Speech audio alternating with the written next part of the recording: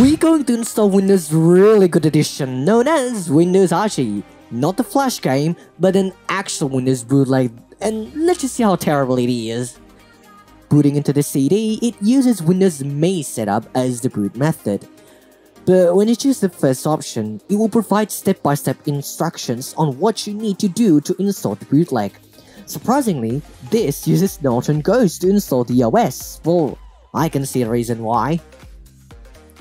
Opening Norton Ghost, navigating through disks to copy the ghost file to the target disk. Okay, what? I can't choose the drive? Well, how? Okay, let me reboot. Ah, I see. I gotta use partition magic to create a partition first.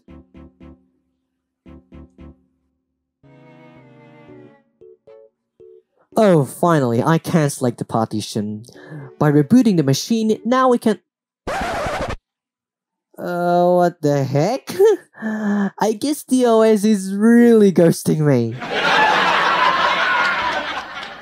Reformatting and reapplying the ghost file, we got into the second phase of the setup, which adds new hardware that really made me click multiple keys.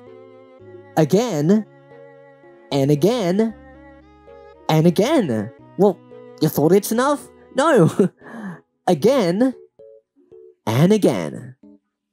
I know. And again. And finally it finishes. Thank God. Rebooting the OS for the third time, there's the fabulous boot screen of Windows RG. And there's ScanDisk, feels like Windows me. And now, we are finally on the desktop. We can see, oh, there's an error. Okay. Now we can finally, oh, oh gosh, errors again? Finally, we got rid of the errors. And now we are finally, uh, oh wait, there's a welcome screen Nice!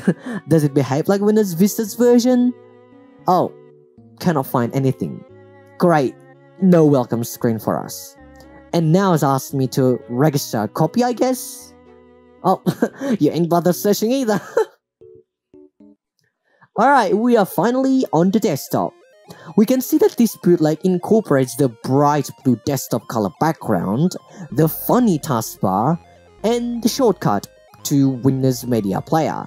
Wow, this feels like a very good edition of Windows, eh? Opening the Windows Explorer, we can see that this looks well, similar to normal Windows Explorer. And for the window layout, this uses the absolute blue as a title bar color. Other than that, there's no changes.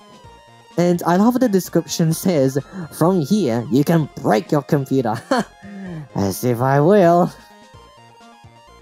Opening the C drive, this looks normal, right?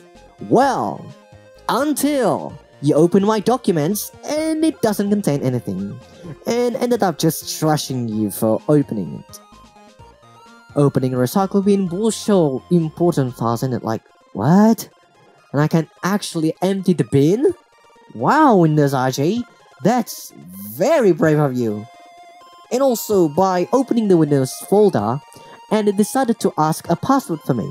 I don't know what the password is, like, what? Bunch of random passwords, I guess. Oh, it displays a password. Come on, that's not fair. Well, okay, we'll get back to the Windows folder later. Opening the About Windows, and you can see that this is definitely Windows RG. Really good edition. That's a very good effort there. Going back to desktop, by opening the Windows Media Player, you can see that there's my channel page and you might forgot to click the subscribe button, so be sure to subscribe, eh? okay, for real. When you open Windows Media Player, it instantly opens a quote-unquote file and plays it. And wow, that's a very entertaining with the color play. You can't track the seeker, you just let this play over and over again. And eventually it crashes itself for illegal operation. Moving on to the start menu, there are many options here that you can do with this bootleg. Some of them are actually useful from the surface. We have Word pre-installed by default. Amazing! Wait, this doesn't look wordy at all. This looks more like Notepad. You get the annoying but beloved Clippy, that will not gonna guide you all, and instead it just overwrites your documents with something it likes and shows a picture of its brother. And literally, shot. Wow, I think Lumi should blur Clippy. We have Windows Update in here which is definitely designed by a 9-year-old. by continuing, the program crashes the OS as a whole. what the heck? I can't believe that I have to restart the OS for this.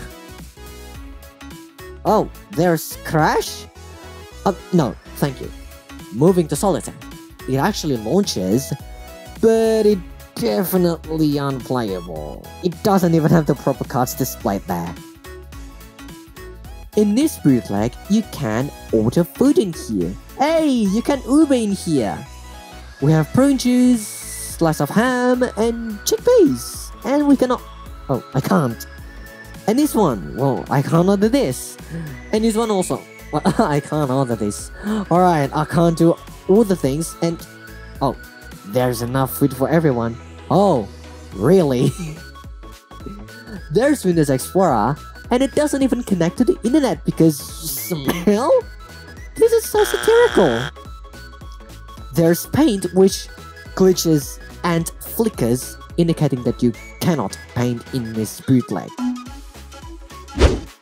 Are you lost in this bootleg? You can use Windows RG help to do it. But then you can't do that because there's no result. And when you try to view possible matches, it crashes the OS as a whole. Again! wow, how many crashes until I can get an award? Aside from that, you can set the desktop background to any available background. There's XP backgrounds, there's Bliss with BSOD, and there's another, and there's BSOD, and there's Card Gradient, and many more. Screensavers doesn't have much changes, or don't have much changes. And within appearance, you can set the appearance back to the original Windows ME, since this is based on Windows ME. And since this is based on Windows ME, I have to remind you, you can open Control Panel by spawning it via Run Dialog. This bootleg uses Windows ME sounds, maybe? Turning back to the desktop, you can play the original Windows RG game inside this Windows RG bootleg. Guess this bootleg isn't enough for ya. Oh yeah, remember that you can't enter the Windows folder and it asks you for a password? Well, you can by manually typing the address on the Windows Explorer. And there it is. You can enter the directory and boy is a messy arrangement. Opening the RG folder welcomes you with this meme. And it contains all resources needed for the RG lore to run. There's this scroll image. There's this animation for the Windows Media Player, as well as many others. Going back to the start menu, although it looks useless from the surface because of those items, you can sort of restore the original items by right-clicking the button and open the start menu folder by moving oh, and moving the RG stuff to the hidden programs folder. And there you go! You can run normal Windows ME applications like Command Prompt and Spider Solitaire. And last but not least, when you shut down the OS, the OS will definitely, oh, it asks for a warning, and another warning, and one last warning again, and a warning, and also this warning, and it finally shut down the OS. See, this is a very nice bootleg based on the actual Flash game. How is this possible? Well, someone emailed me to try this out, and I definitely tried this out. Want to suggest me a bootleg? You can try emailing me or join the Discord server. And since this is practically installable on the actual hardware, you can try this on your computer. Why not? Try this out. Well...